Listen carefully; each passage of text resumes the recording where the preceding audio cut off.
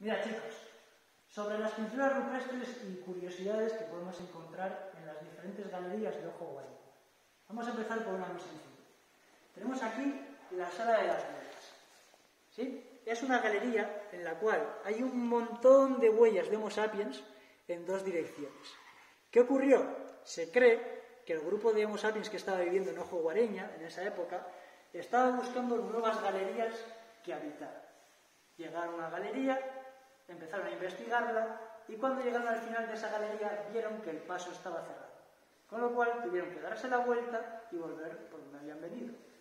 Y a consecuencia de ello, como el suelo de la galería era prácticamente arcilla, iban pisando e iban dejando sus huellas. La arcilla se solidificó y más o menos como el cemento a día de hoy dejó las huellas de esos Homo sapiens pasando por esa galería. En más galerías, en más cavidades, ¿qué tenemos? Grabados rupestres, por ejemplo la sala de la fuente, o el famoso grabado de Caite de una cierva. Y ya, para que flipéis un poco más, tenemos aquí el amigo de Ojo Guareña. No os voy a contar mucho sobre este esqueleto, excepto deciros que ahora mismo está en el Museo de Burgos y que hay una famosa leyenda que habla sobre él, la cual os la explicaremos en el siguiente capítulo. Así que tenéis que estar atentos, ¿vale?